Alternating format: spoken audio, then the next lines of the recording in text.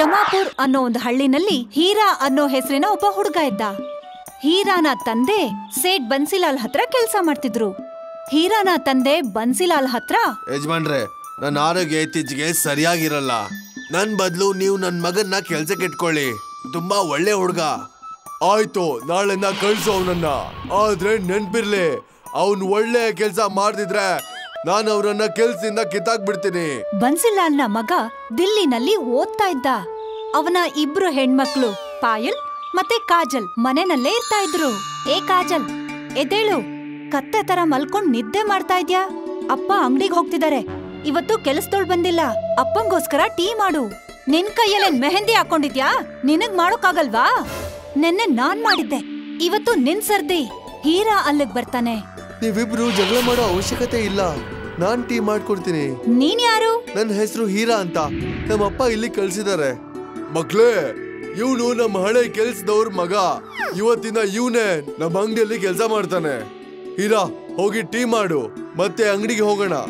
ಬನ್ಸಿಲಾಲ್ ಅವರ ಹಳ್ಳಿನಲ್ಲಿ ತುಂಬಾ ದೊಡ್ಡ ಸ್ವೀಟ್ ಅಂಗಡಿ ಇತ್ತು. ಬನ್ಸಿಲಾಲ್ ಮನೇಲಿರೋ ತನಕ ಹೀರಾ ಅವ್ರ ಮನೆಯಲ್ಲಿ ಕೆಲಸ ಮಾಡ್ತಿದ್ದ.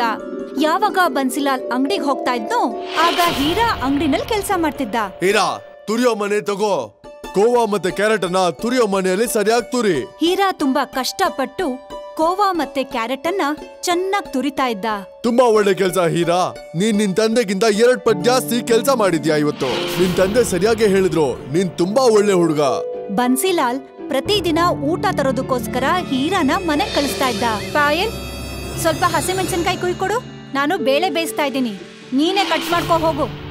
ನಿನ್ನೆ ನಾನೇ ಅಡ್ಗೆ ಮಾಡಿದ್ದೆ ಗೊತ್ತಾ? ನಿನಗ್ ನೆನ್ಪಿದ್ಯಾ? ಈರುಳ್ಳಿ ಕಟ್ ಮಾಡೋದಕ್ಕೆ ನಿನ್ನೆ ಹೇಳಿದ್ದೆ ನಾನ್ ನಿನ್ಗೆ. ಆದ್ರೆ ನೀನು ಕಟ್ ಮಾಡ್ಕೊಡ್ಲಿಲ್ಲ. ಇವಾಗ ಹಸಿಮೆಣಸಿನ್ಕಾಯಿನ ನಾನು ಕಟ್ ಮಾಡಲ್ಲ. ಕಾಯಿ ಮೆಣಸನ್ನ ನಾನ್ ಕಟ್ ಮಾಡ್ತೀನಿ. ಹೀರಾ ಅಡ್ಗೆ ಮಾಡೋದಕ್ಕೆ ಪ್ರತಿದಿನ ಪಾಯಲ್ಗೆ ಸಹಾಯ ಮಾಡ್ತಿದ್ದ. ಮತ್ತೆ ಈ ರೀತಿಯಾಗಿ ಇಬ್ರಲ್ಲೂ ಸ್ನೇಹ ಬೆಳೆಯತ್ತೆ.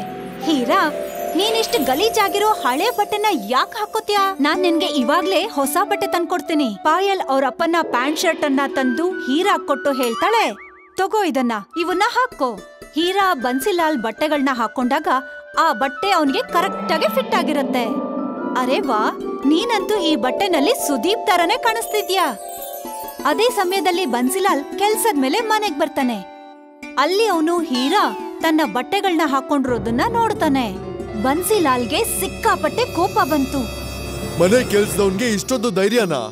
ನನ್ ಬಟ್ಟೆ ಯಾಕೋ ಹಾಕೊಂಡೆ? ಹೋಗು ಇಲ್ಲಿಂದ. ಇನ್ನೊಂದ್ಸಲ ಕಂಡು ಬಂದ್ರೆ ನಿನ್ ಕಾಲ್ಗಳನ್ನ ಮುರ್ದಾಕ್ತೀನಿ ನನ್ನಿಂದ ತಪ್ಪಾಯ್ತು. ನನ್ಗೆ ಕೆಲ್ಸದಿಂದ ತೆಗಿಬೇಡಿ. ನನ್ನ ಅಪ್ಪನ್ಗೆ ಹುಷಾರಿಲ್ಲ. ಅದೆಲ್ಲ ನನ್ಗೆ ಗೊತ್ತಿಲ್ಲ. ನಿನ್ನನ್ನ ಕೆಲ್ಸದಿಂದ ತೆಗಿತಾ ಇದ್ದೀನಿ. ಅವನನ್ನ ಕೆಲ್ಸದಿಂದ ತೆಗಿಬೇಡಿ ಅಪ್ಪಾಜಿ.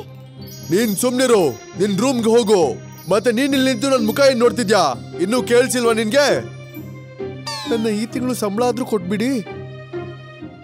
ಸಿಗಲ್ಲ ನಿಂಗೆ ಸಂಬಳ. ಹೋಗಿಲ್ಲಿಂದ ಹೀರಾ ಅತ್ಕೊಂಡು ಅಲ್ಲಿಂದ ಹೊರಟೋದ. ಹೋಗ್ತಾ ಇರೋದನ್ನ ಕಾಜಲ್ ಕಿಟಕಿಯಿಂದ ನೋಡ್ತಾ ಇದ್ಲು. ಹೀರಾ ತಂದೆಗೆ ತುಂಬಾ ಹುಷಾರಿರ್ಲಿಲ್ಲ, ಆದ್ರೆ ಅವ್ರ ಹತ್ರ ಒಂದು ನಯ ಪೈಸಾ ಕೂಡ ಇರ್ಲಿಲ್ಲ. ಹೀರಾ ನದಿ ದಡಕ್ ಹೋಗಿ ಅಳ್ತಾ ಇರ್ತಾನೆ. ಇದ್ದಕ್ಕಿದ್ದ ಹಾಗೆ ಹೀರಾ ಕಾಲಿಗೆ ಏನೋ ಸಿಕ್ಕಾಕೊಳ್ಳುತ್ತೆ ಅಲ್ಲಿ ಹೀರಾ ಮಣ್ಣನ್ನ ತೆಗೆದು ನೋಡಿದ್ರೆ ಅವನ್ ನೋಡ್ತಾನೆ ಮಣ್ಣಿನ ಒಳಗಡೆ ಒಂದು ತುರಿಯೋ ಮಣೆ ಇತ್ತು. ನನಗನ್ಸುತ್ತೆ ಈ ತುರಿಮನೆ ನದಿಯಲ್ಲಿ ಹರ್ಕೊಂಡ್ ಬಂದಿದೆ ಅಂತ. ಈಗ ನಾನು ಅಂಗಡಿಲಿ ಇರ್ತಿದ್ರೆ ನಾನು ಕ್ಯಾರೆಟ್ ತುರುತಾ ಇರ್ತಿದ್ದೆ. ಹೀರಾ ಪಕ್ಕದ ತೋಟದಿಂದ ಒಂದು ಕ್ಯಾರೆಟ್ ಅನ್ನ ತಂದ. ಅವನು ಆ ಕ್ಯಾರೆಟ್ ಅನ್ನ ತುರಿಯೋ ಮಣೆ ಮೇಲೆ ತುರಿಯೋದಕ್ ಶುರು ಮಾಡ್ದ. ಆದ್ರೆ ಹೀರಾಗೆ ಆಶ್ಚರ್ಯ ಆಗತ್ತೆ. ತುರ್ದಂತ ಕ್ಯಾರೆಟ್ ತುರಿ ಚಿನ್ನ ಆಗ್ ಹೋಗಿತ್ತು. ಹೀರಾ ಆ ತುರಿಯೋ ಮಣೆನ ತಗೊಂಡು ಮನೆಗೆ ಓಡ್ ಹೋಗ್ತಾನೆ. ಅರೆ ಹೀರಾ ನೀನು ಇವತ್ ಮನೆಗೆ ಬೇಗ ಯಾಕೆ ಬಂದೆ? ಹೀರಾ ತನ್ನ ತಂದೆ ಪ್ರಶ್ನೆಗೆ ಉತ್ತರ ಕೊಡ್ದೇನೆ ಅಲ್ಮಾರಿಯಿಂದ ಒಂದು ಆಲೂಗಡ್ಡೆನ ತಗೊಂಡು ಆ ತುರಿಯೋ ಮಣೆನಲ್ಲಿ ತುರಿತಾನೆ. ಆ ತುರಿಯೋ ಮಣೆಯಿಂದ ಕೆಳಗಡೆ ಬಂದ ಆಲೂಗಡ್ಡೆ ಕೂಡ ಚಿನ್ನ ಆಗೋಗಿತ್ತು ಹೀರಾ ಎಲ್ಲಾ ವಿಷಯನು ಅವ್ರ ತಂದೆ ಹತ್ರ ಹೇಳ್ತಾನೆ. ಇದ್ಯಾವುದೋ ಒಂದು ಮಾಯಾವಿ ತುರಿಮನೆ ಅನ್ಸುತ್ತೆ. ಹೀರಾ ಆ ಚಿನ್ನನ ಮಾರಿ ಬನ್ಸಿಲಾಲ್ ಅಂಗಡಿ ಪಕ್ಕನೆ ತನ್ನ ಒಂದು ಸ್ವೀಟ್ ಅಂಗಡಿನ ಓಪನ್ ಮಾಡ್ತಾನೆ. ಬನ್ಸಿಲಾಲ್ಗೆ ಇದನ್ನ ನೋಡಿ ಆಶ್ಚರ್ಯ ಆಗತ್ತೆ. ಯಾವ ಹುಡುಗನ್ನ ಅವನು ಕೆಲ್ಸದಿಂದ ತೆಗ್ದಿದ್ನೋ ಅವನು ಇದ್ದಕ್ಕಿದ್ದ ಹಾಗೆ ಅಂಗಡಿನೇ ಓಪನ್ ಮಾಡ್ಬಿಟ್ಟಿದ್ದಾನೆ. ಹರಿಯ ಸ್ವಲ್ಪ ವಿಚಾರಿಸು. ಹೀರಾ ಇಷ್ಟೊಂದ್ ದೊಡ್ಡ ಅಂಗಡಿಯನ್ನ ಹೇಗ್ ಮಾಡ್ದ ಅಂತ? ಹರಿಯ ಇಡೀ ಹಳ್ಳಿನಲ್ಲಿ ವಿಚಾರಿಸ್ತಾನೆ. ಆ ಹಳ್ಳಿಯ ಚಿನ್ನದ ವ್ಯಾಪಾರಿಯಿಂದ ಅವನಿಗೆ ಎಲ್ಲಾ ವಿಷಯನೂ ಗೊತ್ತಾಗೋಗುತ್ತೆ. ಹರಿಯ ಎಲ್ಲಾ ವಿಷಯನ್ನು ಬನ್ಸಿಲಾಲ್ ಹತ್ರ ಹೇಳ್ತಾನೆ. ಬನ್ಸಿಲಾಲ್ ತುಂಬಾ ದುರಾಸೆ ಮನುಷ್ಯ. ಅವನು ಯೋಚಿಸ್ತಾನೆ. ಆ ತುರಿ ಮನೆ ಹೇಗಾದ್ರೂ ನನ್ ಕೈಗೆ ಸಿಕ್ಬಿಟ್ರೆ ಜೀವನ ಪರ್ಯಂತ ನಾನು ನನ್ ಮಕ್ಳು. ಕೆಲ್ಸ ಮಾಡ್ಬೇಕಂತಾನೆ ಇರಲ್ಲ. ಬನ್ಸಿಲಾಲ್ ಅವತ್ ರಾತ್ರಿ ಹೀರಾ ಮನೆಗ್ ಹೋಗ್ತಾನೆ. ಅಲ್ಲಿ ಅವನು ಹೀರಾಗ್ ಹೇಳ್ತಾನೆ. ನೋಡು ಮಗು ಆ ದಿನ ಸಿಟ್ಟಲ್ಲಿ ನನ್ಗೆ ನಿಂಗೆ ತುಂಬಾನೇ ಬೈದ್ಬಿಟ್ಟೆ. ನಾನ್ ನಿನ್ನ ಕಾಜಲ್ ಜೊತೆ ಮದ್ವೆ ಮಾಡಿಸ್ಬಿಡ್ತೀನಿ. ಆದ್ರೆ ಒಂದು ಷರತ್ತು ಆ ಮಾಯಾವಿ ತುರಿ ಮನೆ ನನಗ್ ಕೊಡ್ಬೇಕು. ಹೀರಾ ಕಾಜಲನ್ನ ಪ್ರೀತಿಸ್ತಾ ಇದ್ದ. ಹಾಗಾಗಿ ಬನ್ಸಿಲಾಲ್ ಶರತ್ತನ್ನ ಅವನು ಒಪ್ಕೋತಾನೆ. ಹೀರಾ ಕಾಜಲ್ಗೆ ಮದ್ವೆ ಆಗತ್ತೆ. ಆಮೇಲೆ ಅವನು ತನ್ನ ಜಾದು ತುರಿಯೋ ಮಣೆನ ಬನ್ಸಿಲಾಲ್ಗೆ ಕೊಡ್ತಾನೆ. ಮಜಾ ಬಂತು ಮಜಾ ಬಂತು ಮಜಾ ಬಂತು. ಹರಿಯಾ ಇದರಲ್ಲಿ ಎರಡು ಕ್ಯಾರೆಟ್ನ ತುರಿ. ಹರಿಯ ಯಾವಾಗ ಆ ತುರಿಯೋ ಮಣ್ಣಿನಲ್ಲಿ ಕ್ಯಾರೆಟ್ನ ತುರಿತನೋ ಕ್ಯಾರೆಟ್ ಚಿನ್ನ ಅಂತೂ ಆಗ್ಲಿಲ್ಲ. ಬದ್ಲಿಗೆ ಬನ್ಸಿಲಾಲ್ ತಲೆ ಮೇಲೆ ಕಲ್ ಬಿತ್ತು. ಇದೇನಾಗ್ತಿದೆ? ತುರಿ ಮಣ್ಣಲ್ಲಿ ತುರ್ದ ಕ್ಯಾರೆಟ್ ಚಿನ್ನ ಯಾಕಾಗ್ತಿಲ್ಲ ಮತ್ತೆ ಈ ಕಲ್ಲು ನನ್ ತಲೆ ಮೇಲೆ ಯಾರು ಹೊಡೆದಿದ್ದು? ಮತ್ತೆ ತುರಿ. ಹರಿಯ ಮತ್ತೊಂದ್ಸಲ ತುರಿಯೋ ಮಣ್ಣಿನಲ್ಲಿ ಕ್ಯಾರೆಟ್ ತುರ್ದ. ಈ ಸಲನು ಮತ್ತೆ ಆ ಕ್ಯಾರೆಟ್ ಚಿನ್ನ ಆಗ್ಲಿಲ್ಲ. ಬದ್ಲಿಗೆ ಬನ್ಸಿಲಾಲ್ ತಲೆ ಮೇಲೆ ತುಂಬಾ ಕಲ್ಗಳು ಬಿದ್ವು. ಹರಿಯ ಕ್ಯಾರೆಟ್ ತುರಿತಾನೇ ಹೋದ. ಆದ್ರೆ ನೋಡ್ತಾ ನೋಡ್ತಾ ಬನ್ಸಿಲಾಲ್ ಅಂಗಡಿ ಪೂರ್ತಿ ಕಲ್ಗಳಿಂದ ತುಂಬ ಹೋಗಿತ್ತು. ನಮ್ಮನ್ನ ಯಾರಾದ್ರೂ ಇಲ್ಲಿಂದ ಹೊರಗೆ ತೆಗಿರಿ! ನಾನು ಒಂದು ಮಾಯಾವಿ ತುರಿಮನೆ. ಕಷ್ಟದಲ್ಲಿದ್ದವ್ರಿಗೆ ಸಹಾಯ ಮಾಡ್ತೀನಿ. ದುರಾಸೆ ಮಾಡಿದವ್ರಿಗೆ ಶಿಕ್ಷೆ ಕೊಡ್ತೀನಿ. ಚಿನ್ನದಲ್ಲಿ ಮಾಯ ಇರತ್ತೆ ಅಂತ ಹೇಳ್ತಾರೆ.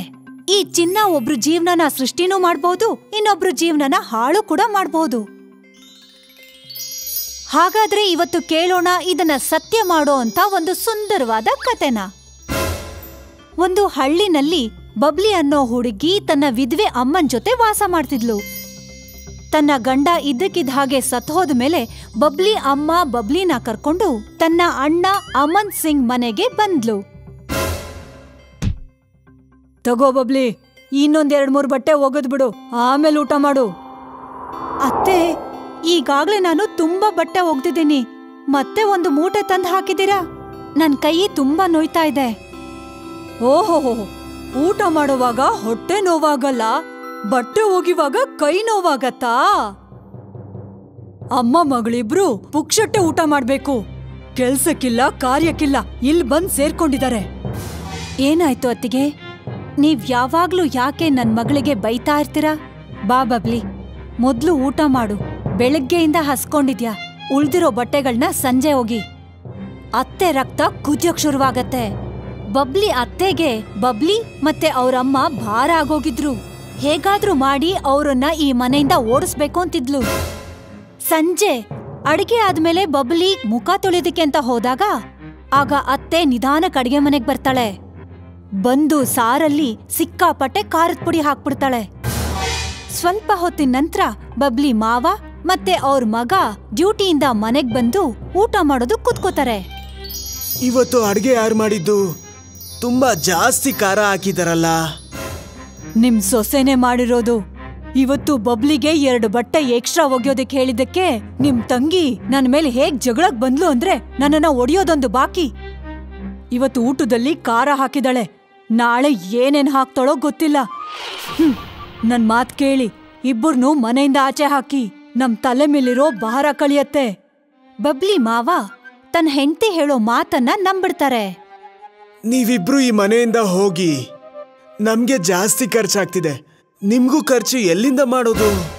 ಆದ್ರೆ ನಾವ್ ಎಲ್ಲಿಗೆ ಹೋಗೋದು? ಎಲ್ಲಾದ್ರೂ ಹೋಗಿ ನನಗ್ ಗೊತ್ತಿಲ್ಲ. ಆದ್ರೆ ಇಲ್ಲಿಂದ ಹೋಗ್ಬಿಡಿ. ಈ ಮನೆಯಲ್ಲಿ ನನ್ನ ಹಳೆ ನೆನಪುಗಳು ತುಂಬಾ ಇವೆ. ಅಮ್ಮನ ಆ ಚಾಕು ಆ ಹಳೆ ಬೀರು ಈ ಮನೆ ಬಿಟ್ಟು ಹೋಗು ಅಂತ ಯಾಕೆ ಹೇಳ್ತಿದ್ದೀರಾ ಅಣ್ಣ? ತಗೋ ಅಮ್ಮನ ಹಳೆ ಚಾಕು ತಗೊಂಡೋಗು. ನಮ್ಗಿದೆಲ್ಲ ಬೇಕಾಗಿಲ್ಲ. ಹಾಗೆ ಹಳೆ ನೆನ್ಪಲ್ಲೇ ಜೀವನನ ಬಿಡು ಇಲ್ಲಿಂದ ಹೋಗು. ಬಬ್ಲಿ ಅಮ್ಮ ಮತ್ತೆ ಬಬ್ಲಿ ರಾತ್ರೋ ರಾತ್ರಿ ತಮ್ಮ ಗಂಟು ಮೂಟೆನ ಕಟ್ಕೊಂಡು ಗೊತ್ತಿಲ್ದಿರೋ ಜಾಗಕ್ಕೆ ಯಾತ್ರೆ ಮಾಡೋದಕ್ಕೆ ಹೋಗ್ತಾರೆ. ಅಮ್ಮ ನಾವೀಗ ಎಲ್ಲಿ ಹೋಗ್ತಿದೀವಿ? ನಾನ್ ಚಿಕ್ಕವಳಿದ್ದಾಗ ಲೀಲಾ ಅನ್ನೋ ನನ್ನ ಸ್ನೇಹಿತೆ ಇದ್ಲು. ಅವಳ ಮನೆ ಇಲ್ಲೇ ಎಲ್ಲೋ ಐದ್ ಕಿಲೋಮೀಟರ್ ದೂರ ಮೀರ್ಪುರ್ ಅನ್ನೋ ಹಳ್ಳಿನಲ್ಲಿದೆ. ಅವಳ ಹತ್ರ ಹೋಗೋಣ ಮಗಳೇ. ಆದ್ರೆ ಗೊತ್ತಿಲ್ಲ ಅವಳು ನನ್ನ ಗುರ್ತು ಹಿಡಿತಾಳೋ ಇಲ್ವೋ. ತುಂಬಾ ವರ್ಷಗಳು ಕಳೆದು ಹೋಗಿದೆ. ಅಮ್ಮ ಮಗಳು ಅರ್ಧ ರಾತ್ರಿವರೆಗೂ ನಡೀತಾನೇ ಇದ್ರು. ಅವ್ರಿಗೆ ಸುಸ್ತಾದಾಗ ಒಂದು ಗುಡ್ಡದ ಕೆಳಗಡೆ ಮಲ್ಕೊಂಡ್ರು. ಬೆಳಿಗ್ಗೆ ಎದ್ದ ಕೂಡ್ಲೆ ಬಬ್ಲಿಗೆ ತುಂಬಾ ಹಸ್ವಾಗೋಕ್ ಶುರುವಾಯ್ತು. ಅಮ್ಮ, ತುಂಬಾ ಹಸ್ವಾಗ್ತಾ ಇದೆ. ಅಲ್ ನೋಡು, ಎದುರುಗಡೆ ಒಂದು ಮಾವಿನ ಮರ ಇದೆ. ಅದರಲ್ಲಿ ಎಷ್ಟೊಂದ್ ಮಾವಿನಕಾಯಿ ಇದೆ. ಅಲ್ಲಿಂದ ಒಂದೆರಡು ಮಾವನನ್ನ ಕಿತ್ಕೊಂಡ್ ಬಾ. ಬಬ್ಲಿ ಮರಕ್ ಹತ್ತಿ ಮಾವಿನ ಕಾಯನ್ನ ಕಿತ್ಕೋತಾಳೆ. ಯಾವಾಗ ಅವಳು ಮಾವಿನಕಾಯಿನ ಚಾಕುಯಿಂದ ಕತ್ತರಿಸ್ತಾಳೋ, ಅದು ಚಿನ್ನದಾಗೋಗತ್ತೆ. ಇದೇನಾಯ್ತಮ್ಮ? ನನಗನ್ಸತ್ತೆ, ನಿನ್ನಮ್ಮನ್ ಚಾಕುನಲ್ಲಿ ಏನೋ ಜಾದೂ ಇದೆ ಅಂತ. ನಮ್ ಹತ್ರ ಈಗ ಚಿನ್ನ ಏನೋ ಇದೆ. ಆದ್ರೆ ಈ ಜಾಗ ಉಳ್ಕೊಳ್ಳೋದಿಕ್ಕೆ ಯೋಗ್ಯವಾಗಿಲ್ಲ. ನಾವು ಮತ್ತೆ ಮೀರ್ಪುರ್ಗೆ ಹೋಗ್ಬೇಕು. ಬಬ್ಲಿ ಮತ್ತೆ ಅವರಮ್ಮ ಮೀರ್ಪುರ್ಗ್ ಬಂದು ಅವ್ರ ಹತ್ರ ಇದ್ದ ಚಿನ್ನನ ಮಾರ್ತಾರೆ. ಒಂದು ದೊಡ್ಡ ಮನೆನ ನೋಡಿ ಕೊಂಡ್ಕೋತಾರೆ. ಬಬ್ಲಿ ಅಮ್ಮ ಇದೇ ಸಮಯದಲ್ಲಿ ಬಬ್ಲಿ ಮದ್ವೆ ಕೂಡ ಮಾಡ್ಬಿಡ್ತಾರೆ. ಬಬ್ಲಿನ ಅತ್ತೆ ಮನೆ ಕಳ್ಸಲ್ಲ.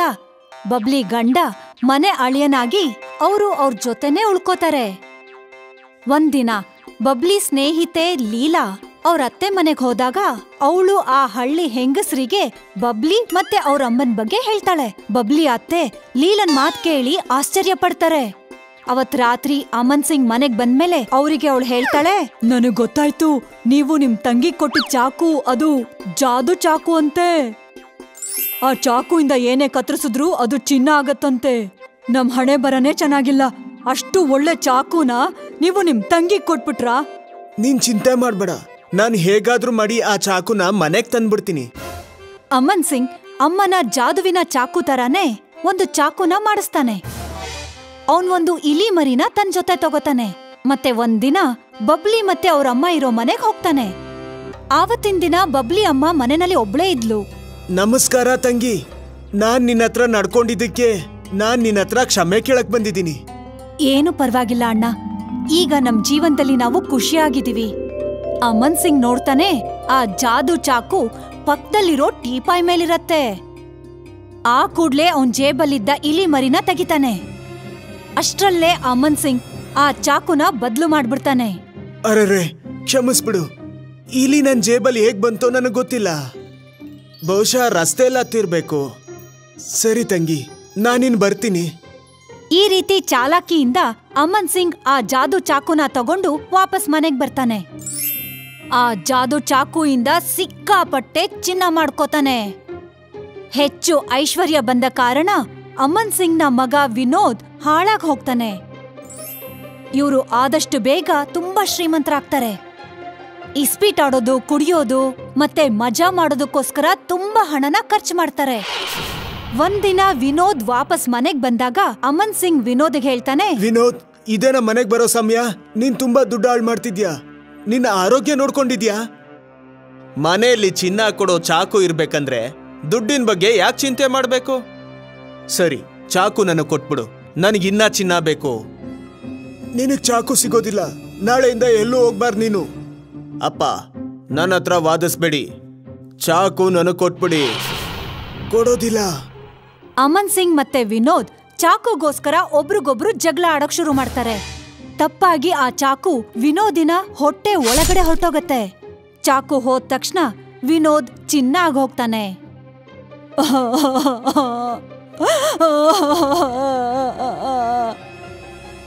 ಅರೆ ದೇವ್ರೆ, ಇದೇನಾಗೋಯ್ತು? ಮಾಯೆಯ ಚಾಕುಯಿಂದ ನಾನು ನನ್ ಮಗನ್ನೇ ಚುಚ್ಬಿಟ್ನಲ್ಲ? ನನ್ಗಿದ್ದಿದ್ದು ಒಬ್ನೇ ಮಗ, ನನ್ ಕೈ ಬಿಟ್ಟು ಹೊಂಟೋದ. ಇನ್ನು ಈ ಆಸ್ತಿ ಯಾತಕ್ಕೋಸ್ಕರ?